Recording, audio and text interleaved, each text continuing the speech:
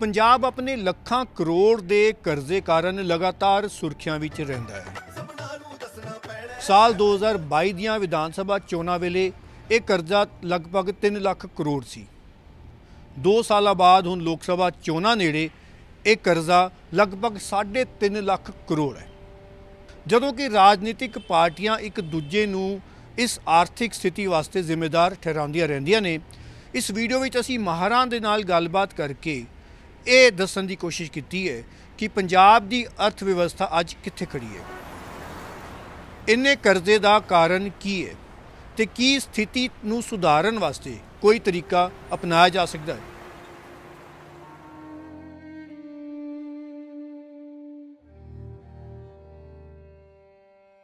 ਦੇਖੋ, ਜਿੱਥੋਂ ਤੱਕ ਤਾਂ ਗਰੋਥ ਰੇਟ ਦਾ ਸੰਬੰਧ ਹੈ, ਉਹਦੇ 'ਚ ਕੋਈ ਬਹੁਤੀ ਇੰਪਰੂਵਮੈਂਟ ਨਹੀਂ ਹੋਈ। ਜਿੱਥੋਂ ਤੱਕ ਇਨਵੈਸਟਮੈਂਟ ਜੀਡੀਪੀ ਰੇਸ਼ੋ ਦਾ ਸੰਬੰਧ ਹੈ, ਉਹਦੇ ਵਿੱਚ ਕੋਈ ਬਹੁਤੀ ਇੰਪਰੂਵਮੈਂਟ ਨਹੀਂ ਹੋਈ। ਡੈਟ ਜੀਡੀਪੀ ਰੇਸ਼ੋ ਜਿਹੜਾ ਉਹ ਵਧਿਆ ਹੈ।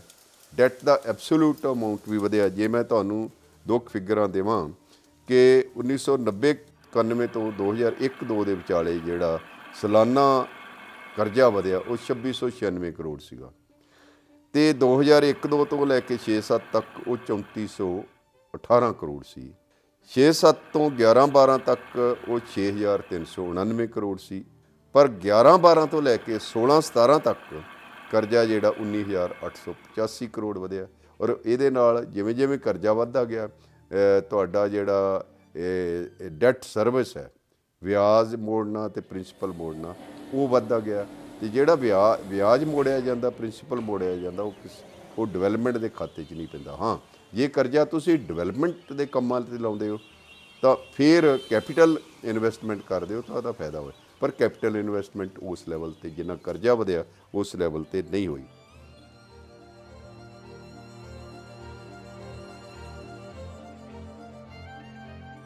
ਤਾਂ ਆਪਾਂ ਕਹਿ ਸਕਦੇ ਹਾਂ ਕਿ ਸ਼ੁਰੂਆਤ ਤਾਂ ਇਹਦੀ ਮਿਲੀਟੈਂਸੀ ਦੇ ਪੀਰੀਅਡ ਤੋਂ ਸ਼ੁਰੂ ਹੋ ਜਾਂਦੀ ਹੈ, ਪਰ ਉਹਦਾ ਜਿਹੜਾ ਟਾਈਮ ਲੈਗ ਇਫੈਕਟ ਹੁੰਦਾ ਹੈ ਉਹ 90 ਤੋਂ ਬਾਅਦ ਵੇਖਣਾ ਸ਼ੁਰੂ ਹੁੰਦਾ ਹੈ।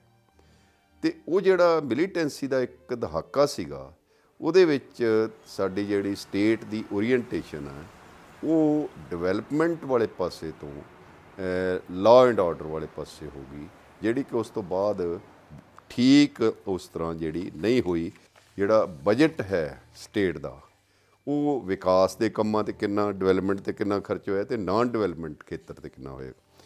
ਜੇ ਆਪਾਂ 1900 ਦੂਰ ਨਾ ਜਾਈਏ ਤਾਂ 80 90 ਦੇ ਵਿੱਚ 1980 81 ਦੇ ਵਿੱਚ ਸਾਡਾ ਜਿਹੜਾ ਡਿਵੈਲਪਮੈਂਟ ਤੇ ਐਕਸਪੈਂਡੀਚਰ ਸੀ, ਉਹ 72% ਸੀਗਾ ਬਜਟ ਦਾ। ਤੇ ਦੂਸਰੇ ਪਾਸੇ ਨਾਨ ਡਿਵੈਲਪਮੈਂਟ ਤੇ 28% ਸੀ।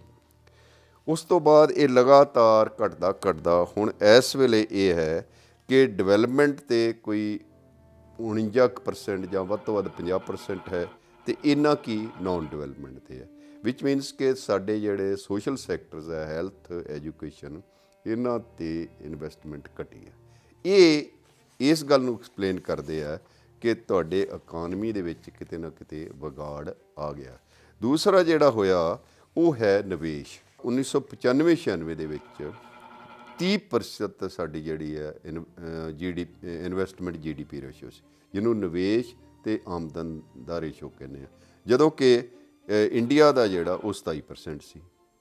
ਉਸ ਤੋਂ ਬਾਅਦ ਲਗਾਤਾਰ ਸਾਡਾ ਪੰਜਾਬ ਦਾ ਜਿਹੜਾ ਇਨਵੈਸਟਮੈਂਟ ਜੀਡੀਪੀ ਰੇਸ਼ੋ ਉਹ ਘਟਣਾ ਸ਼ੁਰੂ ਹੋ ਗਿਆ। 18 ਅਹ ਮਤਲਬ 2004-5 ਤੱਕ 6-7 ਤੱਕ ਉਹ 20-21% ਤੇ ਆ ਗਿਆ। ਹੁਣ ਬਹੁ- ਹੋਰ ਵੀ ਘੱਟ ਹੈ 14 15% ਇਸ, ਇਹ ਇਸ ਗੱਲ ਨੂੰ ਐਕਸਪਲੇਨ ਕਰਦਾ ਕਿ ਸਾਡਾ ਗਰ- ਜਿਹੜੇ ਇਨਵੈਸਟਮੈਂਟ ਜੀਡੀਪੀ ਰੇਸ਼ੋ ਘਟਣ ਨਾਲ ਸਾਡਾ ਜਿਹੜਾ ਗਰੋਥ ਰੇਟ ਆ ਇਕਨੋਮੀ ਦਾ ਉਹ ਵੀ ਘਟਿਆ ਹੈ ਤੇ ਗਰੋਥ ਰੇਟ ਜਿਹੜਾ ਡੀਸਲਰੇਸ਼ਨ ਹੈ, ਉਹ ਸ਼ੁਰੂਆਤ ਹੁੰਦੀ ਹੈ 1992 93 ਤੋਂ।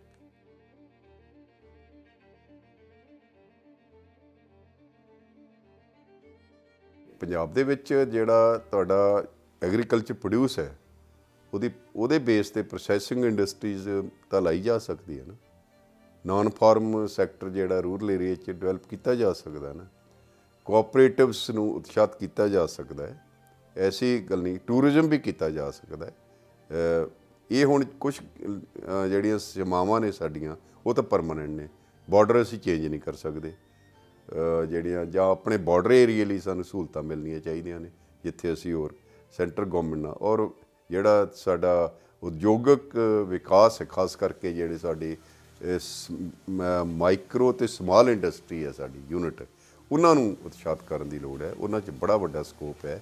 ਉਹਦੇ 'ਚ ਕੋਈ 25 ਲੱਖ ਦੇ ਕਰੀਬ ਜਿਹੜਾ ਸਾਡੀ ਰੋਜ਼ਗਾਰ ਹੈ ਔਰ ਇਹ ਇਹ 24% ਉਹਦਾ ਆਮਦਨ ਵਿੱਚ ਵੀ ਕਾ, ਮਤਲਬ 24% ਨਹੀਂ ਕੁਝ 24-25% ਤੇ ਪੂਰੇ ਉਦਯੋਗ ਦਾ ਹੈ, ਉਹ ਦੀਆਂ ਜਿਹੜੀਆਂ ਸਮੱਸਿਆਵਾਂ ਨੇ ਉਹ ਹੱਲ ਕਰਨ ਦੀ ਲੋੜ ਹੈ ਔਰ ਕਿਉਂਕਿ ਪੰਜਾਬ 'ਚ ਤੁਸੀਂ ਕਹਿ ਲਓ ਕਿ 14.5 ਲੱਖ ਦੇ ਕਰੀਬ ਤਾਂ ਮਾਈਕਰੋ ਯੂਨਿਟਸ ਹੀ ਨੇ ਤੇ ਜੇ ਸਮਾਲ ਵਿੱਚ ਜੋੜ ਲਓ ਤੇ ਉਹ 14.65 ਕੁ ਲੱਖ ਬੰਦੇ ਨੇ।